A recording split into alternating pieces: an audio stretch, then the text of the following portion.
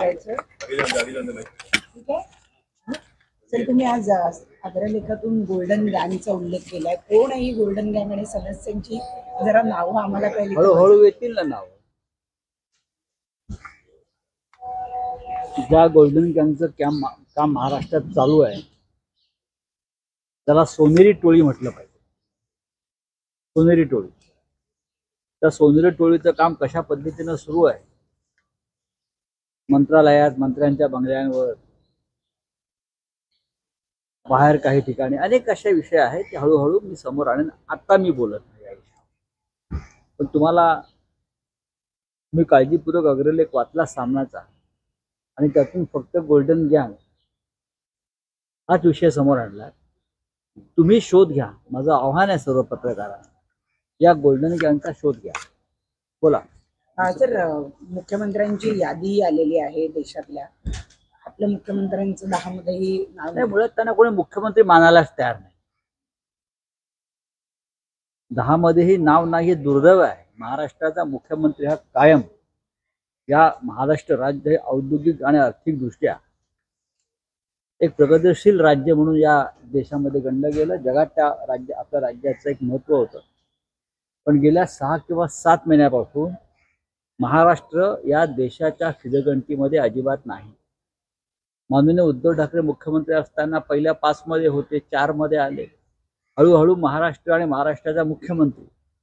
पहिल्या क्रमांकावर जाण्याची गती पकडत असताना हे सरकार पाडण्यात आलं ते त्यासाठी. कुठेतरी महाराष्ट्राचे पंख कापले जावे.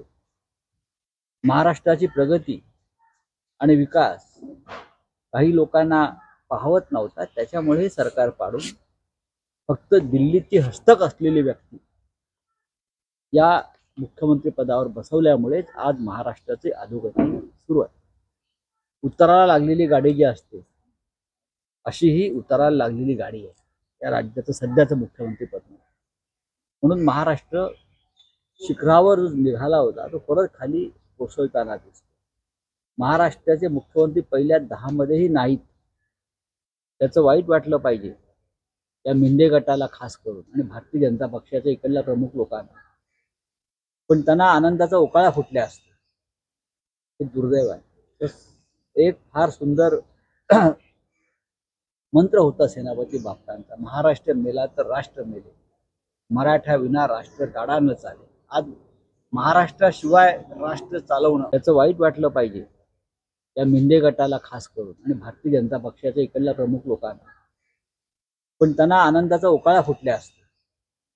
हे दुर्दैव आहे. एक फार सुंदर मंत्र होता सेनापती बापटांचा महाराष्ट्र मेला तर राष्ट्र मेले. मराठा विना राष्ट्र टाळा न चाले. आज महाराष्ट्राशिवाय राष्ट्र चालवणं हे सोपं आहे. हे दिल्लीचं तख्त दाखवून देतो.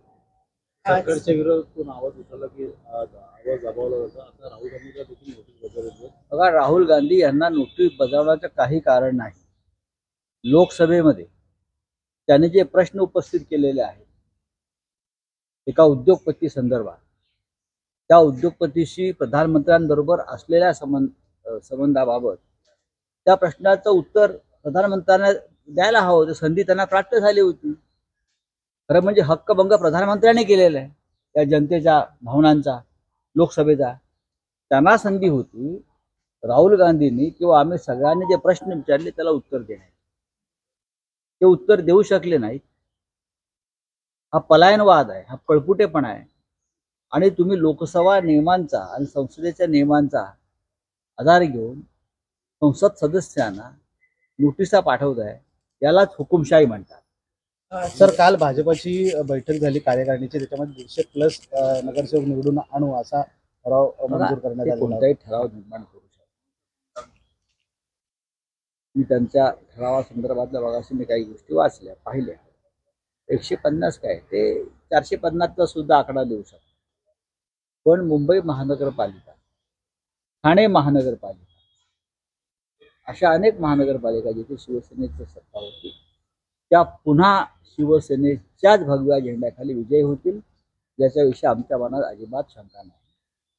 जो राज- ज्या राज्याचा मुख्यमंत्री पहिल्या दहा मध्ये सुद्धा येऊ शकत नाही त्या मुख्यमंत्र्याच्या नेतृत्वाखाली या राज्यात कोणती निवडणूक भाजपा जिंकूच शकणार सर काल तुम्ही एक ट्विट केलं होतं आणि उद्या चौदा तारीख आहे उद्या कोर्टामध्ये सुद्धा पुन्हा हिअरिंग होण्याची शक्यता आहे.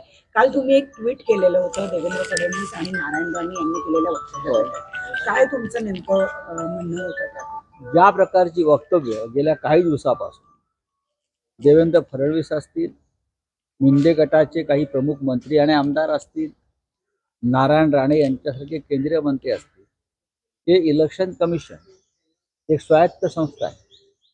स्वतंत्र संस्था आहे. आणि सर्वोच्च न्यायालय. स्वतंत्र संस्था आहे. आणि सर्वोच्च न्यायालय. या दोघांचेही निकाल हे सरकारच्या आणि फुटलेल्या मिंदे गटाच्या बाजूनेच येतील. तुम्ही तुम्ही आनंद उत्सव साजरा करण्याच्या तयारीला लागा. अशा प्रकारची भाषा जर हे दोन लोक करत असतील याचा अर्थ सर्वोच्च न्यायालय आणि इलेक्शन कमिशनला ह्यांनी विकत घेतलंय का? हा एक प्रश्न आहेच. आणि म्हणून आम्ही लोकांना सावध केलं की पहा अजून निकाल लागायचा आहे. आणि निकाल लागण्याआधी या सगळ्यांनी असं जाहीर केलं की आम्हीच जिंकतोय. तो निकाल आमच्या बाजूनेच लागेल. तर अनिल देशमुख असं म्हणाले की मला जेलमध्ये ऑफर आली तेव्हा स्वीकारली असेल तर महाविकास आघाडी सरकार या विषयावर बोलेन मी. मी त्यांचं भाषण काल पाहिलं वर्ध्यातलं. त्या विषयावर बोलेन. मला माहिती आहे कारण असे विषय माझ्या बाबतीत सुद्धा घडलेले आहेत. आणि म्हणून आम्हाला तुरुंगातही टाकण्यात आलं. आणि अत्यंत वाईट पद्धतीने आम्हाला वागणूक दिली. पण या विषयावर मी स्वतंत्र- स्वतंत्रपणे बोलेन राज्यपालांनी काल वक्तव्य केलेलं की राऊत सरकार आणि गुंड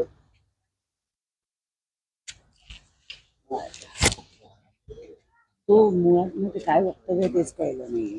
ते नॉर्मल बोलताना बोलतो मला वाटतं. आणि परत परत ऐकावं लागणार आहे बरं काय